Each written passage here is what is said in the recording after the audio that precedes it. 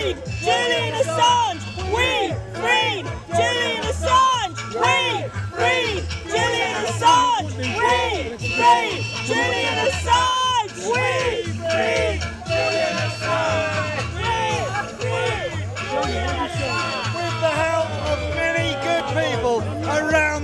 World, I thank you so much. I'm just one of the people here.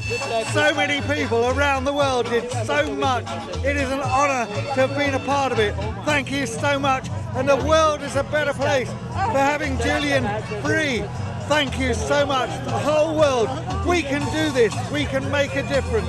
Thank you. Let's join together, fight all these bad things and injustice. Thank you so much. Thank you. Amen. Amen!